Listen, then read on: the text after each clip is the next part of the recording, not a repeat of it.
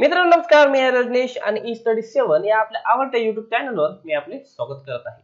मित्रांनो आजच्या भागामध्ये आपण बघणार आहोत सराव प्रश्न जे की होणाऱ्या सर्व स्पर्धा परीक्षेकरिता अतिशय महत्त्वाचे आहे. तर अधिक माहिती करिता तुम्ही e study seven dot com या वेबसाईटलाही भेट देऊ शकता. तर चला आपण सुरू करूया. यामधील काही प्रश्न.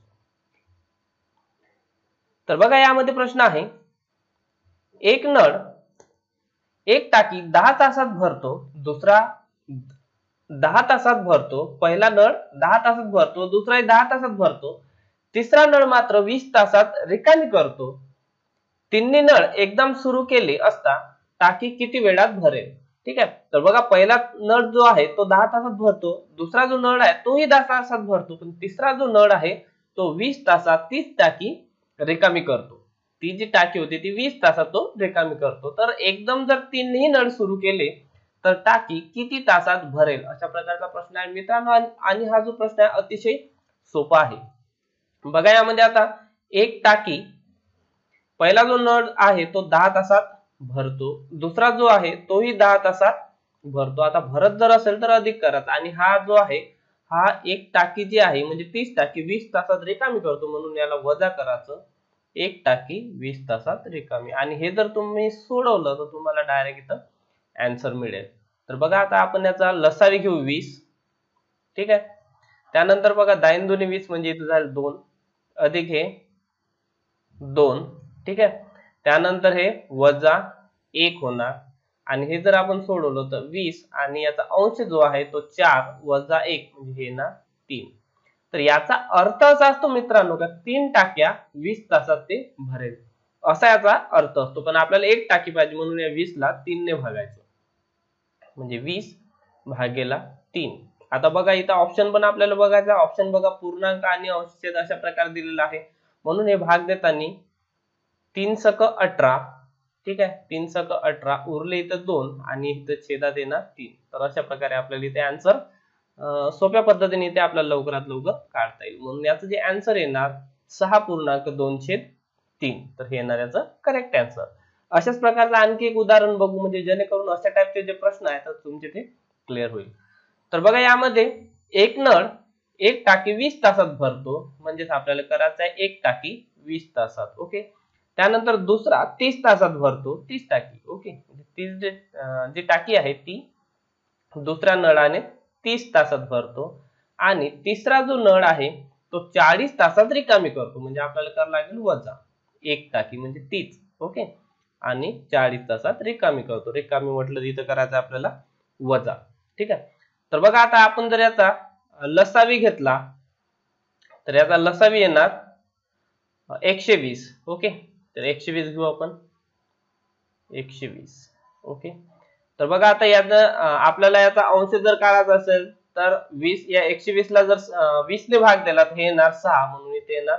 म्हणजे अंशालाही सहाने गुणावं लागेल छेदालाही सहाने गुणावं लागेल तेव्हाच आपल्याला एकशे वीस मिळेल. म्हणून इथे होणार सहा.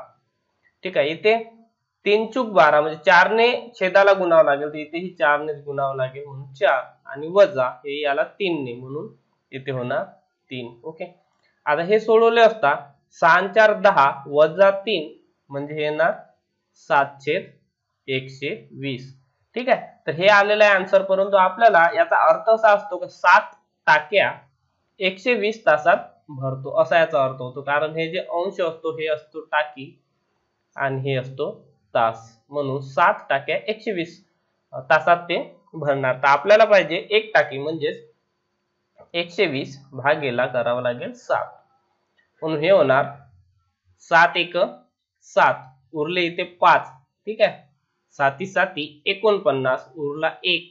आणि हे एकशे सतरा पूर्णांक एकशेत सात. तर हे असेल याचं अँसर सतरा पूर्णांक एकशेत सात. म्हणजे ऑप्शन क्रमांक एक हे असेल याचं करेक्ट अँसर तर अशा पद्धतीने आपण इझिली काढू शकतो.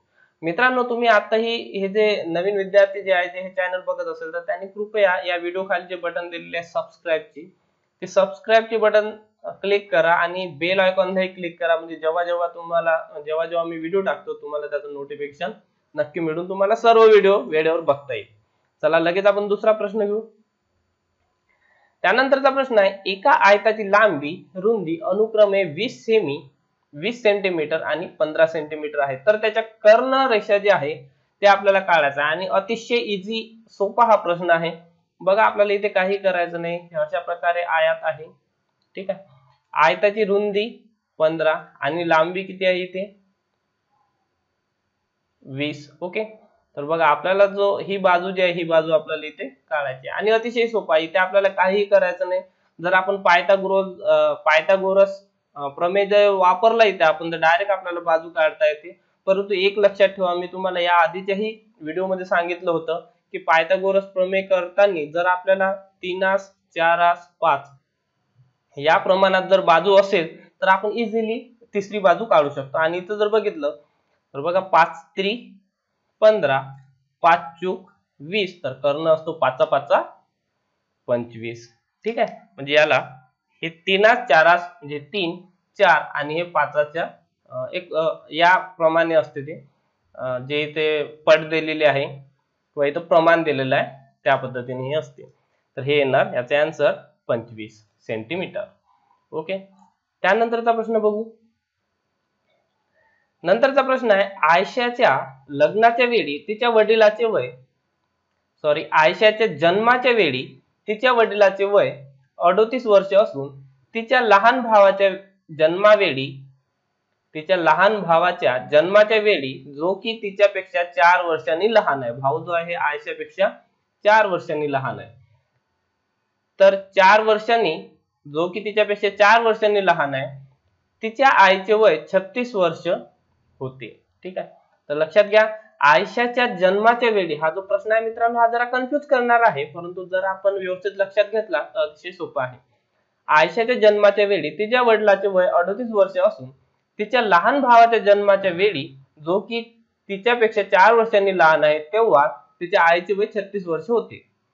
तर तिच्या पालकाच्या वयातील फरक किती आता पालकाच्या वयातील फरक म्हणजेच आई आणि वडील यांच्या वयातील फरक इथे विचारलेला आहे. बघा आता पहिलं जर वाक्य आपण इथं घेतलं तर आयशाच्या जन्माच्या वेळी तिच्या वडिलाचे वय अडोतीस वर्ष होते. मित्रांनो हा व्हिडिओ पॉज करून किंवा थांबून तुम्ही हा प्रश्न सोडवू शकता असं काही नाही. त्यानंतर मात्र तुम्ही पुन्हा ही व्हिडिओ बघा. तर जन्म आयशाच्या जन्माच्या वेळी वडिलाचे वय अडोतीस वर्ष असून तिच्या लहान भावाच्या जन्माच्या वेळेस. बघा हे झालं पहिलं वाक्य. तर ठीक आहे पहिलं वाक्य आपण सोडू नये आपण सोडू दुसऱ्या वाक्यापासून. ठीक आहे? बघा तिच्या लहान भावाच्या जन्माच्या वेळी म्हणजे हा लहान भाऊ ठीक आहे? लहान भाऊ. याचा जेव्हा जन्म झाला होता तर हा होता झिरो वर्षाचा. ठीक आहे? तर त्याच्या जन्माच्या वेळी जो तिच्यापेक्षा चार वर्षांनी लहान आहे तर तिच्या आईचे वय किती होते? छत्तीस वर्ष होते. ठीक आहे? आईचे वय किती होते? Thirty six. वर्ष. ओके? म्हणजे लहान भाऊ जेव्हा जन्मला म्हणजे त्याचं वय वर्ष जेव्हा झिरो होतो त्याच्या आईचं वय होतं इथं छत्तीस. आणि हा जो लहान भाऊ आहे हा आहे या आयशापेक्षा चार वर्षांनी लहान. म्हणजेच हा जेव्हा लहान भाऊ जन्मला तेव्हा आयशा किती वर्षाची असेल? आयशा याच्यापेक्षा मोठी आहे म्हणून हे असेल चार वर्षाची. ओके? ठीक आहे? आणि पहिलं वाक्य आता आपल्याला बघायचं आहे. बघा आयशाच्या जन्माच्या वेळी तिच्या वडिलाचे वय अडोतीस वर्ष होते. केव्हा आता आयशा जेव्हा झिरो वर्षाची होती तेव्हा. म्हणजे शून्य वर्षाची जेव्हा आयशा होती तर वडील किती होते? अडोतीस वर्ष होते. ठीक आहे? अडोतीस वर्ष त्याचं वय होतं. परंतु आता इथे आपण आयशा दाखवली चार वर्ष. तर वडिलाचे चार वर्षानं वय वाढ वाढेल. म्हणजे वडील किती वर्षाचे होणार? वडील होणार अडोतीस आणि चार. तर ते होणार बेचाळीस वर्षाचे. ठीक आहे? तर अशा प्रकारे आपण इथं वय काढू शकतो. बघा प्रश्न जर तुम्ही समजून घेतला तर तुम्हाला निश्चित असे याचे आन्सर करेक्ट काढता येते आणि कमी वेळात काढता येते फक्त प्रश्न कसा सोडवायचा ते आपल्याला समजून घेणं महत्वाचं आहे. तर बघा आपल्याला इथे विचारलेल्या पालकाच्या वयातील फरक. तर आई आणि वडील यांच्या वयातील आपल्याला फरक काढायचा आहे. आई आहे छत्तीस वर्षाची आणि वडील आहे बेचाळीस वर्षाचे. आता हे कधीही मागं पुढं तीन चार वर्ष आधी काढलं तरी फरक तेवढाच असतो. पुढे जरी काढलं तरी फरक तेवढाच असतो. ठीक आहे? म्हणून इथे आपल्याला लहान भाऊ जन्माच्या वेळेस किंवा आयशा जन्माच्या वेळेस वयातील फरक विचारला तरीही तो जे आता आहे तोच असणार.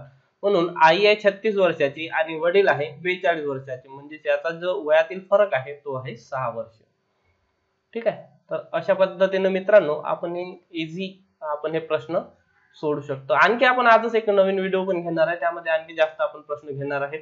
तोपर्यंत मित्रांनो नमस्कार. हे बघत राहा चॅनल आणि जे कोणी नवीन विद्यार्थी असेल त्यांनी कृपया चॅनलला सबस्क्राईब करा.